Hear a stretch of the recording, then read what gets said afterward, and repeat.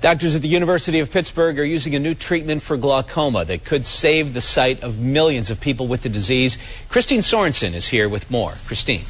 Well, Ken, more than 4 million Americans have glaucoma, and more than 100,000 of them go blind from it each year.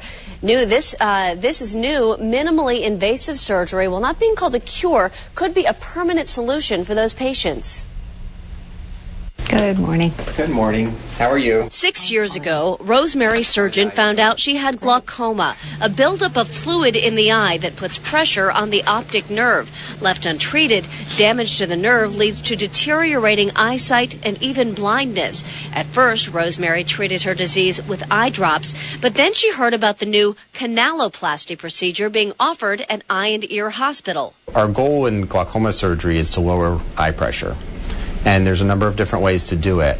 And how canaloplasty is, is different is that it basically retains the eye's normal architecture. Doctors describe the procedure as like an angioplasty for the eye. They insert a tiny catheter into the eye's drainage canal, which may have become blocked or narrowed, keeping fluids from draining from the eye. And what that does is it makes it easier for the fluid to leave the eye.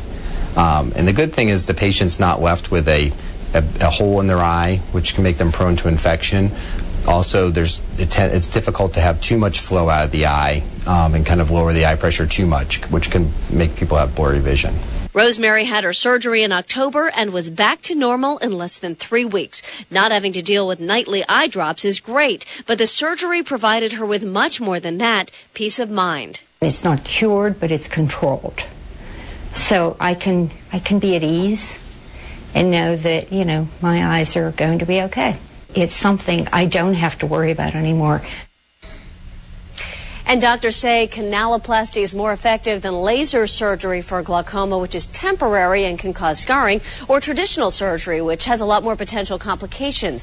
In fact, the procedure is done on an outpatient basis, with patients returning home the same day. For more information on the procedure and how to get in touch with the doctors at UPMC, just log on to kdka.com slash health. Ken? Thanks, Christine.